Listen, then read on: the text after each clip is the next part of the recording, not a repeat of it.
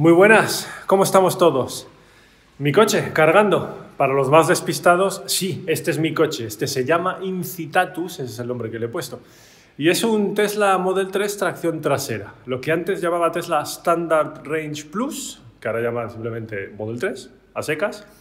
Batería 60 kilovatios hora, eh, batería LFP, batería cuya autonomía máxima en ciclo oficial de homologación WLTP son 510 kilómetros.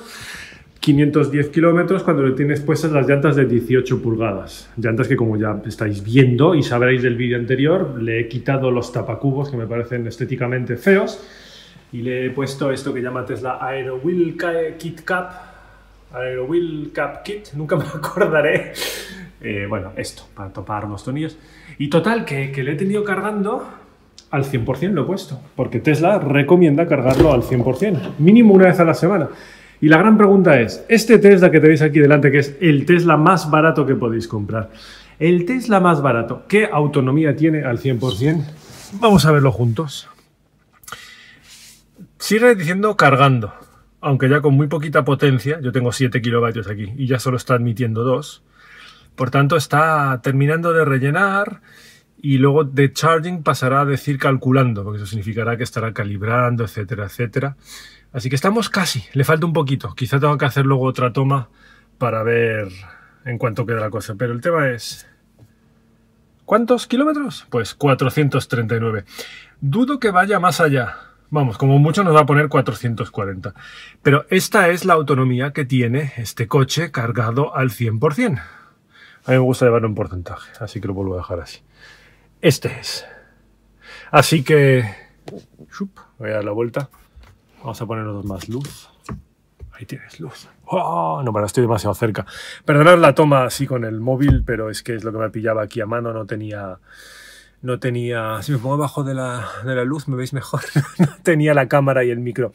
Pero bueno, básicamente esta toma así mala a oscuras es para recordar que aunque indica aquí 439 o termine quizá con 440, no sé cuánto dará, luego lo pongo. ¿Dónde está los 510 kilómetros que dice Tesla en su página web? Bueno, pues esto es muy sencillo. Todos los fabricantes indican en su página web las cifras de consumo oficial, de consumo y de autonomía. Para los eléctricos se suele publicitar la autonomía, no tanto el consumo. El consumo siempre está ahí en la letra pequeña. Pero eso es el consumo obtenido durante el proceso de homologación siguiendo el procedimiento WLTP. Igual que cuando te vas a comprar un coche diésel o gasolina nuevo, te dicen consumo 6,1, 4,9, lo que sea. Pues eso es el, el, consumo oficial, el de homologación.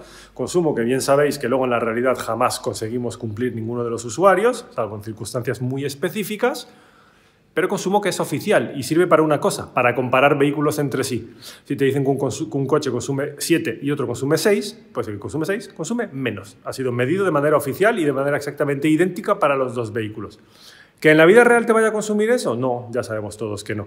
Lo mismo pasa con un... No te apagues, que si yo ando con mal de luz y el iPhone no es que sea muy bueno, por lo menos el 8, que es el que tengo yo, cogiendo luz en interiores, pues a lo que iba diciendo, que por mucho que estos te digan 510 kilómetros WLTP, eso significa que en el procedimiento de homologación da eso, pero en la vida real no. A lo que iba, ¿por qué dice 439 y no 510? Porque los de Tesla suelen utilizar el consumo del ciclo de homologación estadounidense, el EPA. EPA. Y eso es lo que da. Las millas que veis en la página web de Estados Unidos del ciclo EPA eso es lo que tenéis aquí en pantalla, pero pasado a kilómetros. Que en la vida real luego tampoco se alcanzan. En la vida real se alcanzarán pues 300 y, eso ya dependiendo de la orografía y de tu pie, podrá, podrá ser 300 y poco o 300 y mucho kilómetros, pero a los 439 no creo que lleguemos.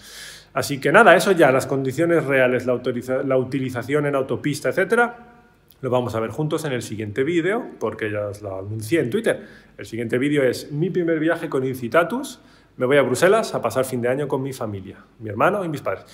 Y nada, si sube de 439 os voy a poner un pantallazo justo ahora con la cifra final. Y si no, pues ya enlazamos con el aullidito. Cambio de mano. ¡Pásate a lo eléctrico!